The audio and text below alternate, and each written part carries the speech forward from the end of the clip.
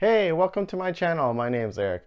In today's video, I'll be showing you some advanced lookup functions, like having multiple criteria for your VLOOKUP or index and match. Let's get started.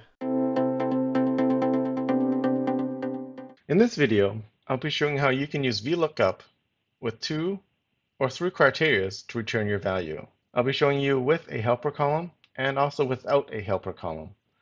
So we'll begin with the helper column. So basically we'll be combining columns B, C, and D together to get the country. So first let's do the two criteria with VLOOKUP. So we need to combine columns B and C together. So we'll do equals B2 and C2 and then hit enter.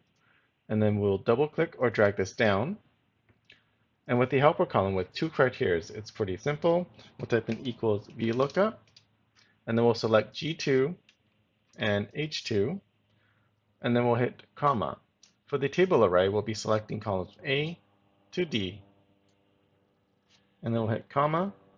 The column index number is a column in which we want to return the value. So we'll be entering 4 for column D, and then hit comma, and then 0, because we want an exact match.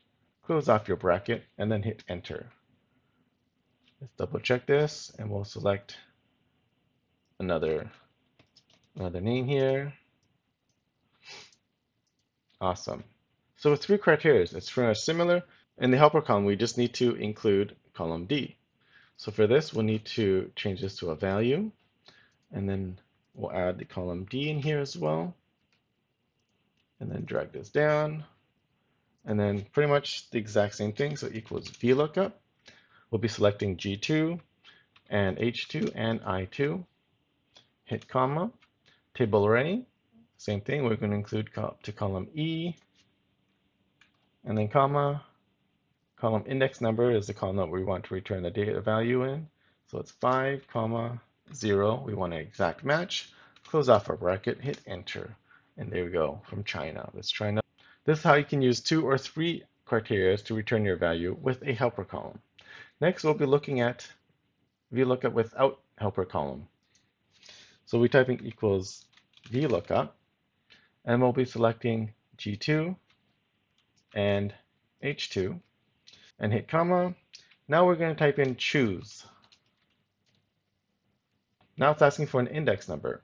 In this case, we'll open up the brace brackets or the curly brackets and we'll type in 1, comma 2. So this is telling Excel that we have a table array with two columns. Next, we'll hit comma. It's asking for a value 1. So this is the column with the first value, which is column B. Then we're going to do the ampersand sign, select column C as well, and then hit your comma. So for value 2, it's the column that has our value that we want to return. So that's column D. And then close off our bracket, enter comma. Now for the column index number, since we already told Excel that there's two columns in this table array, we're going to select the second column. And then hit comma, 0 for an exact match, and then close off your bracket. And then hit enter. There you go. Let's try another one here. Awesome, that works.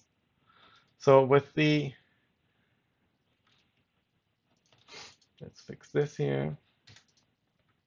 So with three criteria, it's essentially the same as before. So type in equals VLOOKUP. And then for the lookup value, we'll select G2 and H2 and I3. And then hit comma. And then for the table array, we're going to type in choose. And then open up our brace brackets. We'll type in 1, comma 2 for our table array. And then hit comma.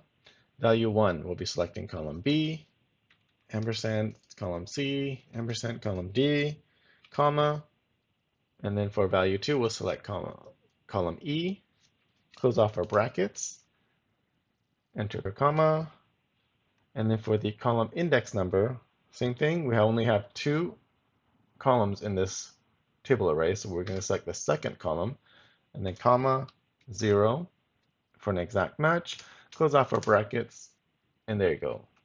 So let's try one more here. Awesome. All right, I hope you found this useful. We'll see you in the next video. In this video, I'll be showing how you can use index and match with either two or three criteria to return your value. So let's look at the one with two criteria. So in the cell, we'll enter equals index. And then for the array or the reference, we'll select the column which has our cell value that we want to return. So that's C in this case, and then we'll hit comma. Next, we'll type in the match function, and the match function is asking for a lookup value. In this case, we'll be selecting F2 and G2, and then we'll hit comma.